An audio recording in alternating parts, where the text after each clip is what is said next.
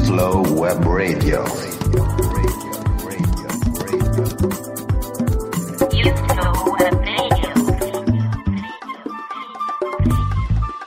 Legge professionale forense alla radio. Legge 31 dicembre 2012 numero 247. Nuova disciplina dell'ordinamento della professione forense. In Gazzetta Ufficiale numero 15 del 18 gennaio 2013. Entrata in vigore del provvedimento 2 febbraio 2013. Titolo IV. Accesso alla professione forense. Capo primo. Tirocinio professionale. Articolo 40. Accordi tra università e ordini forensi. Comma primo. I consigli dell'ordine degli avvocati possono stipulare convenzioni, senza nuovi o maggiori oneri per la finanza pubblica, con le università per la disciplina dei rapporti reciproci. Comma 2. Il CNF e la Conferenza dei presidi delle facoltà di giurisprudenza promuovono, anche mediante la stipulazione di apposita convenzione, senza nuovi o maggiori oneri per la finanza pubblica, la piena collaborazione tra le facoltà di giurisprudenza e gli ordini forensi per il perseguimento dei fini di cui al presente capo. Articolo 41. Contenuti e modalità di svolgimento del tirocinio. Comma primo. Il tirocinio professionale consiste nell'addestramento, a contenuto teorico e pratico, del praticante avvocato finalizzato a fargli conseguire le capacità necessarie per l'esercizio della professione di avvocato e per la gestione di uno studio legale, nonché a fargli apprendere e rispettare i principi etici e le regole deontologiche. Comma 2. Presso il Consiglio dell'Ordine è tenuto il registro dei praticanti avvocati l'iscrizione al quale è condizione per lo svolgimento del tirocinio professionale. Comma 3. Per l'iscrizione nel registro dei praticanti avvocati e la cancellazione dallo stesso si applicano, in quanto compatibili, le disposizioni previste dall'articolo 17. Comma 4. Il tirocinio può essere svolto contestualmente ad attività di lavoro subordinato pubblico e privato, purché con modalità e orari idonei a consentirne l'effettivo e puntuale svolgimento e in assenza di specifiche ragioni di conflitto di interesse. Comma 5. Il tirocinio è svolto in forma continuativa per 18 mesi. La sua interruzione per oltre 6 mesi, senza alcun giustificato motivo, anche di carattere personale, comporta la cancellazione dal registro dei praticanti, salva la facoltà di chiederne nuovamente l'iscrizione nel registro, che può essere deliberata previa nuova verifica da parte del Consiglio dell'Ordine della sussistenza dei requisiti stabiliti dalla presente legge. Comma 6. Il tirocinio può essere svolto, lettera A, presso un avvocato con anzianità di iscrizione all'albo non inferiore a 5 anni, lettera B, presso l'Avvocatura dello Stato o presso l'ufficio legale di un ente pubblico o presso un ufficio giudiziario per non più di 12 mesi. Lettera C. Per non più di sei mesi in altro paese dell'Unione Europea, presso professionisti legali, con titolo equivalente a quello di avvocato, abilitati all'esercizio della professione. Lettera D. Per non più di sei mesi, in concomitanza con il corso di studio per il conseguimento della laurea, dagli studenti regolarmente iscritti all'ultimo anno del corso di studio per il conseguimento del diploma di laurea in giurisprudenza, nel caso previsto dall'articolo 40. Comma 7. In ogni caso il tirocinio deve essere svolto per almeno sei mesi presso un avvocato iscritto all'ordine o presso l'Avvocatura dello Stato. Comma 8. Il tirocinio può essere svolto anche presso due avvocati contemporaneamente, previa richiesta del praticante e previa autorizzazione del competente Consiglio dell'Ordine, nel caso si possa presumere che la mole di lavoro di uno di essi non sia tale da permettere al praticante una sufficiente offerta formativa. Comma 9.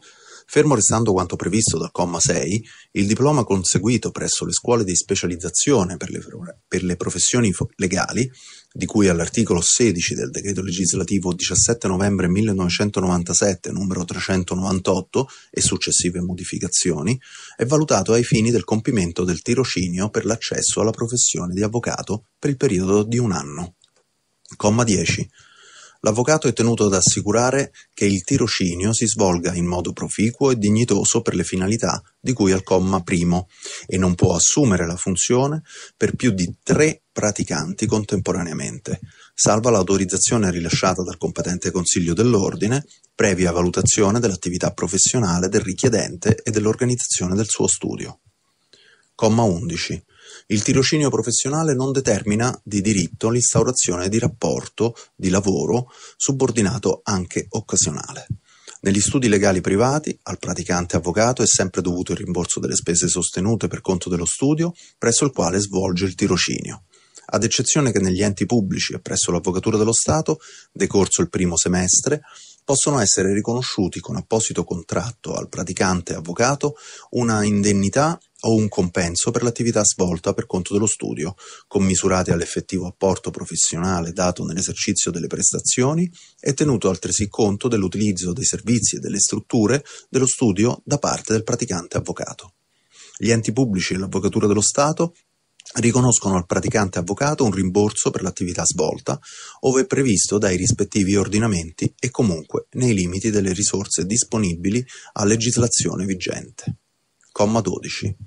Nel periodo di svolgimento del tirocinio, il praticante avvocato, decorsi sei mesi dall'iscrizione nel registro dei praticanti, purché in possesso del diploma di laurea in giurisprudenza, può esercitare attività professionale in sostituzione dell'avvocato presso il quale svolge la pratica e comunque sotto il controllo e la responsabilità dello stesso anche se si tratta di affari non trattati direttamente dal medesimo in ambito civile di fronte al tribunale e al giudice di pace e in ambito penale nei procedimenti di competenza del giudice di pace, in quelli per reati contravvenzionali e in quelli che, in base alle norme vigenti anteriormente alla data di entrata in vigore del decreto legislativo 19 febbraio 1990 1998, numero 51, rientravano nella competenza del pretore. L'abilitazione decorre dalla delibera di iscrizione nell'apposito registro. Essa può durare al massimo 5 anni, salvo il caso di sospensione dall'esercizio professionale non determinata da giudizio disciplinare, alla condizione che permangano tutti i requisiti per l'iscrizione nel registro. Comma 13. Il Ministro della Giustizia con proprio decreto adotta, sentito il CNF, il regolamento che disciplina: lettera A. Le modalità di svolgimento del tirocinio e le relative procedure di controllo da parte del competente Consiglio dell'Ordine. Lettera B. Le ipotesi che giustificano l'interruzione del tirocinio, tenuto conto di situazioni riferibili all'età, alla salute, alla maternità e paternità del praticante avvocato e le relative procedure di accertamento. Lettera C. I requisiti di validità dello svolgimento del tirocinio in altro paese dell'Unione Europea. Comma 14. Il praticante, per giustificato motivo, può trasferire la propria iscrizione presso l'ordine del luogo ove intenda proseguire il tirocinio. Il Consiglio dell'Ordine autorizza il trasferimento, valutati i motivi che lo giustificano, e rilascia al praticante un certificato attestante il periodo di tirocinio che risulta regolarmente compiuto. Articolo 42. Norme disciplinari per i praticanti. I praticanti osservano gli stessi doveri e norme deontologiche degli avvocati e sono soggetti al potere disciplinare del Consiglio dell'Ordine. Articolo 43. Corsi di formazione per l'accesso alla professione di avvocato. Comma primo. Il tirocinio oltre che nella pratica svolta presso uno studio professionale, consiste altresì nella frequenza obbligatoria e con profitto, per un periodo non inferiore a 18 mesi, di corsi di formazione di indirizzo professionale tenuti da ordini e associazioni forensi, nonché dagli altri soggetti previsti dalla legge. Comma 2. Il Ministero della Giustizia, sentito il CNF, disciplina con regolamento. Lettera A le modalità e le condizioni per l'istituzione dei corsi di formazione di cui al comma primo, da parte degli ordini e delle associazioni forensi giudicate idonee, in maniera da garantire la libertà e il pluralismo dell'offerta formativa e della relativa scelta individuale. Lettera B. I contenuti formativi dei corsi di formazione in modo da ricomprendervi, in quanto essenziali, l'insegnamento del linguaggio giuridico, la redazione degli atti giudiziari, la tecnica impugnatoria dei provvedimenti giurisdizionali e degli atti amministrativi, la tecnica di redazione del parere stragiudiziale e la tecnica di ricerca. Lettera C la durata minima dei corsi di formazione, prevedendo un carico didattico non inferiore a 160 ore per l'intero periodo. Lettera D.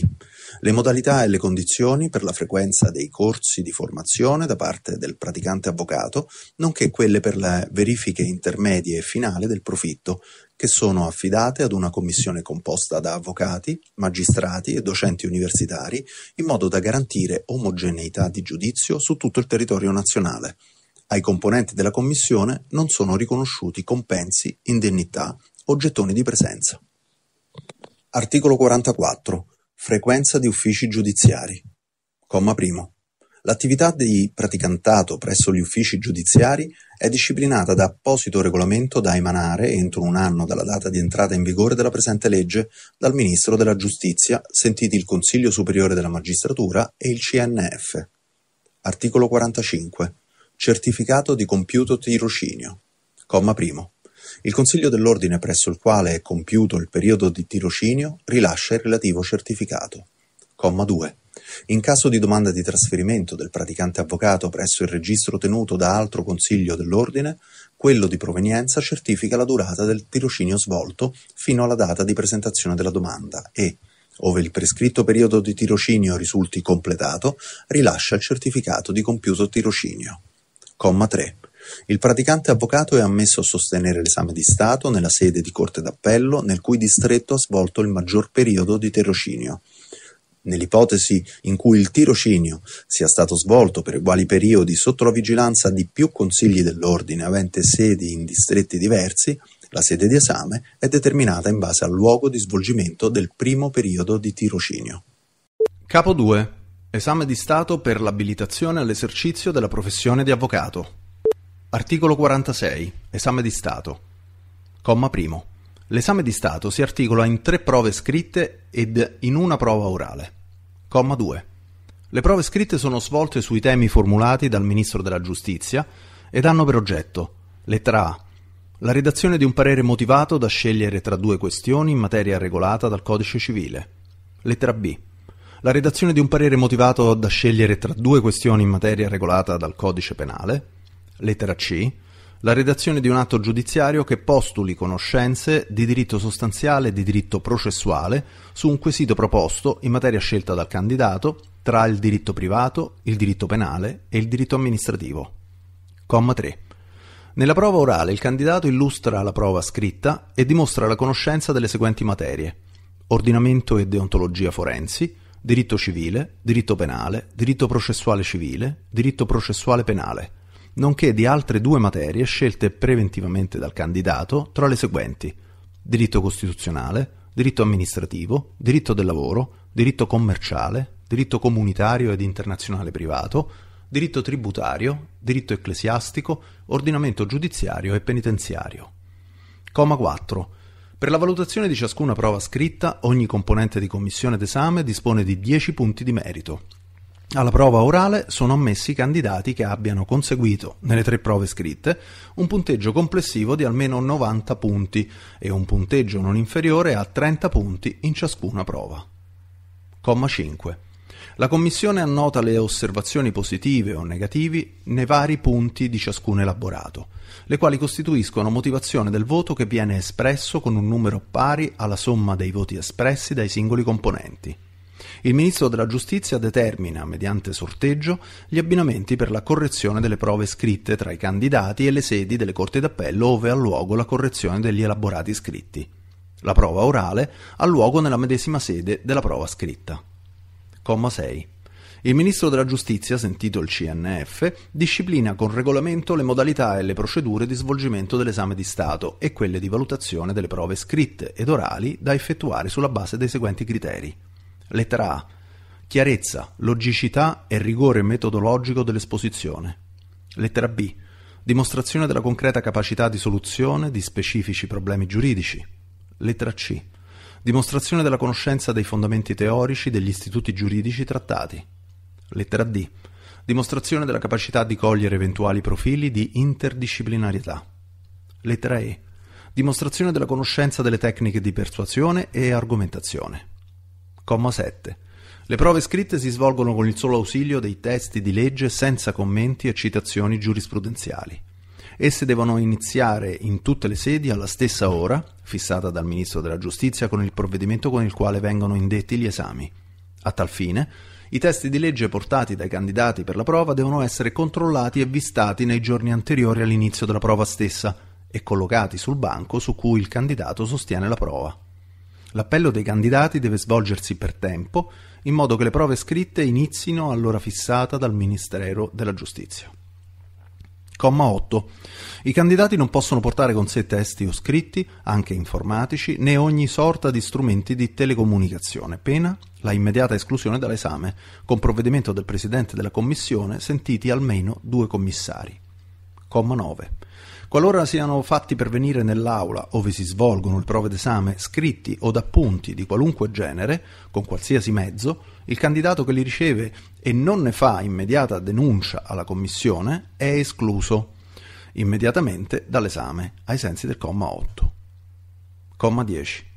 Chiunque faccia pervenire in qualsiasi modo ad uno o più candidati prima o durante la prova d'esame testi relativi al tema proposto è punito, salvo che il fatto costituisca più grave reato, con la pena della reclusione fino a tre anni. Per i fatti indicati nel presente comma e nel comma 9, i candidati sono denunciati al Consiglio distrettuale di disciplina del distretto competente per il luogo di iscrizione al registro dei praticanti, per i provvedimenti di sua competenza. Comma 11. Per la prova orale ogni componente della commissione dispone di 10 punti di merito per ciascuna delle materie d'esame. Comma 12. Sono giudicati idonei i candidati che ottengono un punteggio non inferiore a 30 punti per ciascuna materia. Comma 13. Agli oneri per l'espletamento delle procedure dell'esame di Stato, di cui al presente articolo, si provvede nell'ambito delle risorse disponibili a legislazione vigente e, comunque, senza nuovi o maggiori oneri per la finanza pubblica. Resta ferma la corresponsione all'erario della tassa di cui all'articolo 1, primo comma, lettera B, del decreto legislativo del Capo Provvisorio dello Stato 13 settembre 1946, numero 261, come rideterminata dall'articolo 2, comma 1, lettera B, del decreto del Presidente del Consiglio dei Ministri 21 dicembre 1990, pubblicato nella Gazzetta Ufficiale numero 303 del 31 dicembre 1990. Comma 13 bis. Le spese per la sessione d'esame sono poste a carico del candidato nella misura forfettaria di euro 50, da corrispondere al momento della presentazione della domanda. Comma 13 ter. Le modalità di versamento del contributo di cui al comma 13 bis sono stabilite con decreto, avente natura non regolamentare, dal Ministro della Giustizia, di concerto con il Ministro dell'Economia e delle Finanze. Analogamente il contributo è aggiornato ogni tre anni secondo l'indice dei prezzi al consumo per le famiglie di operai e impiegati. Articolo 47. Commissione di esame. Comma primo. La commissione di esame è nominata con decreto dal Ministro della Giustizia ed è composta da 5 membri effettivi e 5 supplenti, dei quali 3 effettivi e 3 supplenti sono avvocati designati dal CNF tra gli iscritti all'albo speciale per il patrocinio davanti alle giurisdizioni superiori, uno dei quali la presiede. Un effettivo e un supplente di regola prioritariamente magistrati in pensione e solo in seconda istanza magistrati in servizio, un effettivo e un supplente sono professori universitari o ricercatori confermati in materie giuridiche. Comma 2. Con il medesimo decreto, presso ogni sede di Corte d'Appello è nominata una sottocommissione avente composizione identica alla commissione di cui al comma primo. Comma 3. Presso ogni corte d'appello, ove il numero di candidati lo richieda, possono essere formate, con lo stesso criterio, ulteriori sottocommissioni per gruppi sino a 300 candidati. Comma 4. Esercitano le funzioni di segretario una o più funzionari distaccati del Ministero della Giustizia. Comma 5. Non possono essere designati nelle commissioni di esame avvocati che siano membri dei consigli dell'ordine o di un consiglio distrettuale di disciplina, ovvero componenti del consiglio di amministrazione o del comitato dei delegati della Cassa Nazionale di Previdenza ed Assistenza Forense e del CNF. Comma 6. Gli avvocati componenti della Commissione non possono essere eletti quali componenti del Consiglio dell'Ordine, di un Consiglio distrettuale di disciplina, del Consiglio di amministrazione o del Comitato dei delegati della Cassa Nazionale di Previdenza ed Assistenza Forense e del CNF nelle elezioni immediatamente successive alla data di cessazione dell'incarico ricoperto. Comma 7. L'avvio delle procedure per l'esame di abilitazione deve essere tempestivamente pubblicizzato secondo modalità contenute nel regolamento di attuazione emanato dal Ministro della Giustizia entro un anno dalla data di entrata in vigore della presente legge. Comma 8. Il Ministro della Giustizia, anche su richiesta del CNF, può nominare ispettori per il controllo del regolare svolgimento delle prove d'esame scritte ed orali. Gli ispettori possono partecipare in ogni momento agli esami e ai lavori delle commissioni di uno o più distretti indicati nell'atto di nomina ed esaminare tutti gli atti. Comma 9. Dopo la conclusione dell'esame di abilitazione con risultato positivo, la Commissione rilascia il certificato per l'iscrizione nell'albo degli avvocati. Il certificato conserva efficacia ai fini dell'iscrizione negli albi. Articolo 48. Disciplina transitoria per la pratica professionale. Comma primo. Fino al secondo anno successivo alla data di entrata in vigore della presente legge, l'accesso all'esame di abilitazione all'esercizio della professione di avvocato resta disciplinato dalle disposizioni vigenti alla data di entrata in vigore della presente legge, fatta salva la riduzione a 18 mesi del periodo di tirocinio. Comma 2. All'articolo 1, comma 1 del regolamento, di cui al decreto del Ministro della Giustizia 11 dicembre 2001, numero 475, le parole alle professioni di avvocato e sono sostituite dalle seguenti alla professione di. Articolo 49. Disciplina transitoria per l'esame. Comma primo. Per i primi quattro anni dalla data di entrata in vigore della presente legge, l'esame di abilitazione all'esercizio della professione di avvocato si effettua sia per quanto riguarda le prove scritte e le prove orali, sia per quanto riguarda le modalità di esame, secondo le norme previgenti. Libertà e diritto per diffondere giustizia. È con la passione che si raggiungono i grandi traguardi e le frequenze di Use Law Web Radio pulsano di amore per la nostra professione. Questa è la radio degli avvocati che parla agli avvocati. Tutte le novità normative, gli approfondimenti e le interviste sui temi di attualità passano da qui. Use Web Radio, il vostro appuntamento quotidiano con la giustizia.